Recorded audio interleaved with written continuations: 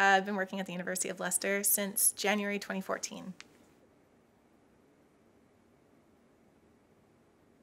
My research mainly focuses on issues of inclusion in digital culture. Uh, I specifically focus on digital games uh, as well as internet studies.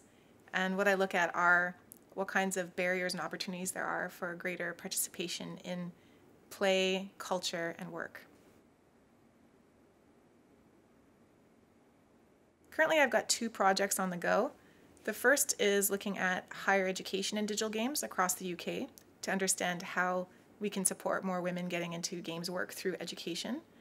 Uh, the other, other project that I'm working on right now is funded by the European Cultural Foundation. And uh, what I'm doing in that is building a toolkit for amateur game design to share with community leaders who are interested in using creative storytelling with their uh, community groups. So, looking at uh, refugee groups, asylum seekers, and uh, people who are stateless.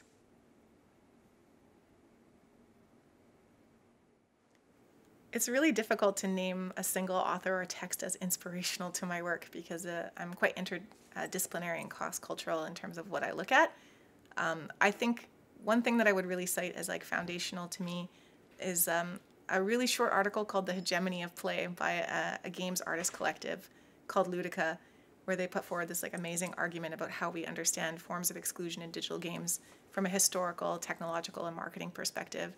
So I use that in all of my research and in all of my teaching.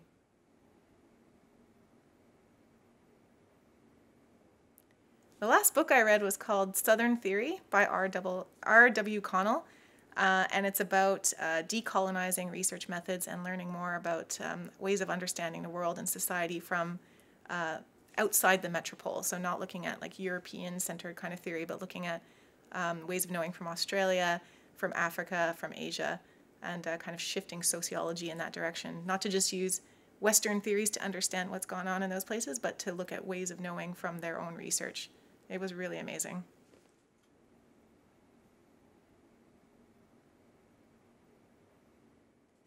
The best thing about working at Leicester is the colleagues. We have such amazing, brilliant people here, and I found it to be a really supportive place to develop my research and the various areas that influence it. Um, and just when we get together and talk about ideas, it's always incredible.